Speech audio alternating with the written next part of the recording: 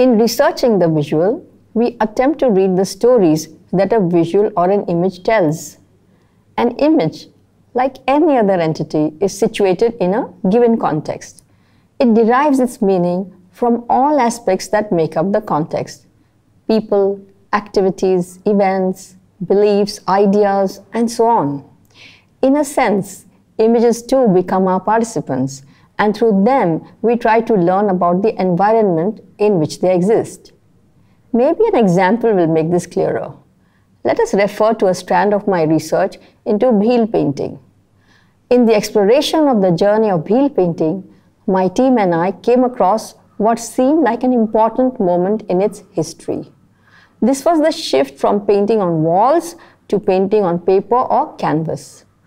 This shift had come about as a result of interventions by artists and craft activists in the late 1980s, led by the artist J. Swaminathan. The shift was connected to the socio-economic conditions of the community. The Bhils have faced decades of social and economic discrimination and marginalization. Their forests have been usurped by multiple mainstream governments. Due to these factors, generation after generation, the Bhils have had to leave their villages and their forests to make a living as manual unskilled workers in large cities.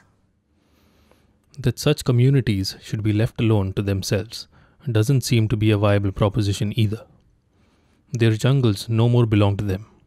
They can no more practice their traditional mode of cultivation in the name of conservation of forests, which are anyway being systematically destroyed for catering to urban and development needs. They cannot seek and hunt game anymore, and the inroads of the money economy are seemingly irreversible. Swaminathan's suggestion that the Bhils paint on paper and sell their paintings through fairs and exhibitions gave them access to a new means of livelihood. This was an option that enabled them to remain connected to their culture. Understanding this history, I came to see that there is an important connection between the shifts in Bhil painting and the community's socio-economic conditions. Exploring this connection helped me understand the socio-economic structures and the history that have defined the lives of the Bhils in Madhya Pradesh. As the paintings became more commodified, many things changed. The size of the paintings changed. They became smaller to fit paper and canvas. Because they were being painted for a larger audience, they now depicted subjects that related to the Bhils' everyday lives. And Bhil women, who traditionally are not allowed to paint sacred images, were now making paintings on canvas and paper. Observing these changes, I wanted to explore one more question. Did these shifts affect their relationship to painting? Would they be amenable to creating them on a computer? And they said no. It is still a sacred art and has to be painted by hand. And because I asked this question, they explained to me that each dot that forms a Bhil painting represents an ancestor. So each image that they make is a universe of memories of their ancestors. The fact that this painting is going to be sold does not change this. For the Bhils, painting remains a way of praying to their gods for the well-being of the community. As we read visuals and the act of making them, we are able to draw connections between the visual and its context. Making these connections, we learn about the larger socio-cultural and economic structures in which the visual exists. And we learn about the meanings individual participants associate with the visual. There is another aspect to researching the visual. We pay attention to the content, form, and aesthetic of the visual. We draw connections between a particular visual and the other visual elements in the environment.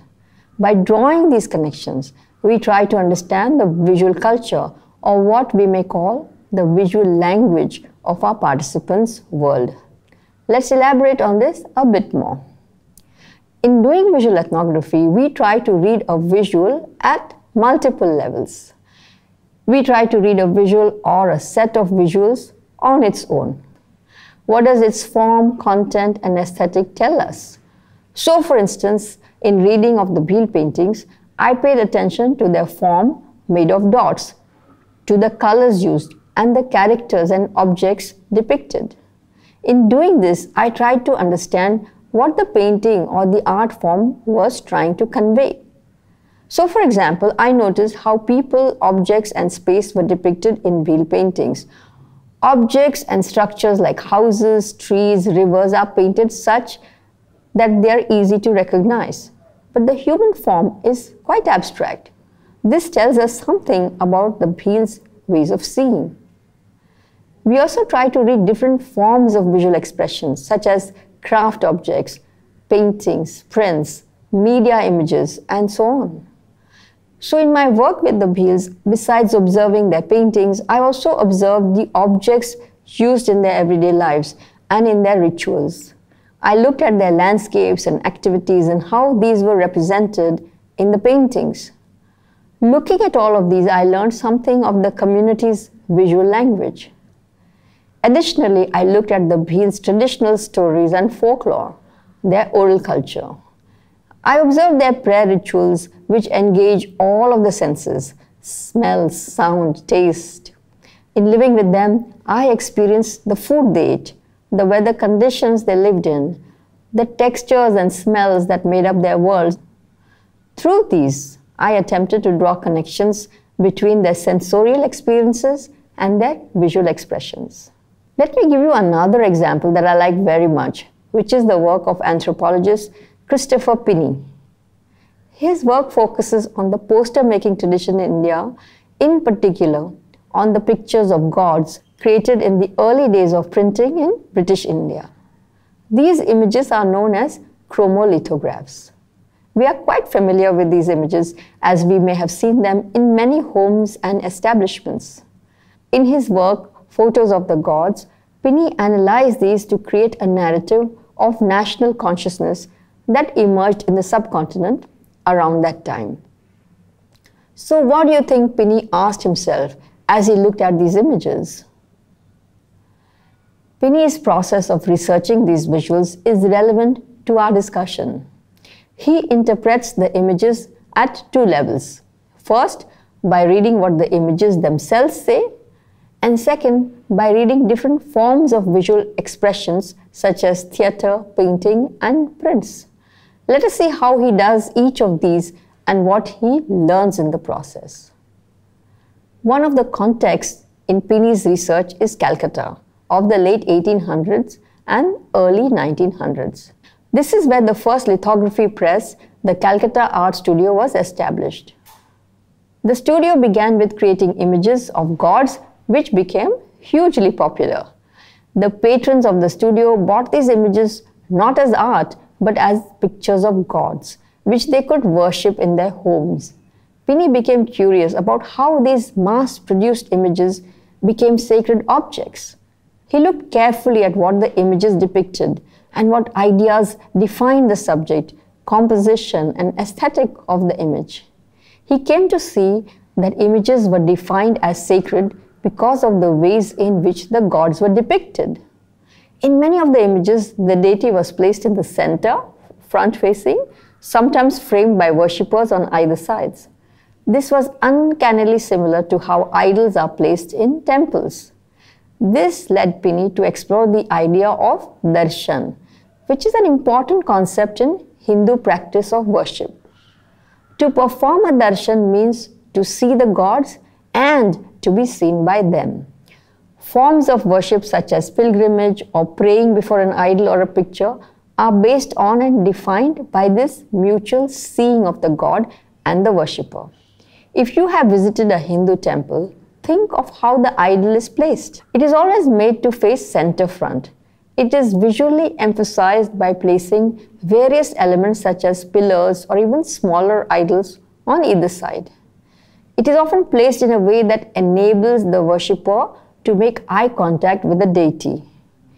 In making the chromolithographs, the artists translated this idea of darshan into their prints using these basic visual techniques. Besides placing the deity center front, they emphasized the gaze of the deity by giving visual importance to the eyes, or by making them large. Sometimes they added props such as curtains, framing the deity, giving them more visual importance. In this manner, the artist tried to emphasize the visual connection between the deity and the worshipper, thus fulfilling the desire for darshan.